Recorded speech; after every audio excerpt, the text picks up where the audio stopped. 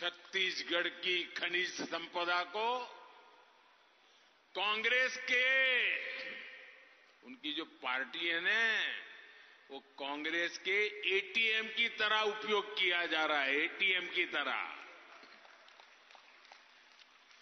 झूठा प्रचार और आकंठ भ्रष्टाचार,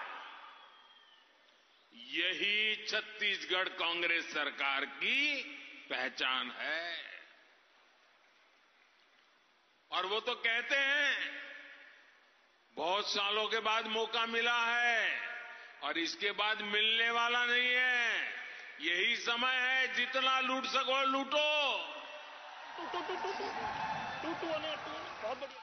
मेरे परिवारजनों, कांग्रेस का ट्रैक रिकॉर्ड और भाजपा का ट्रैक रिकॉर्ड आपके सामने है।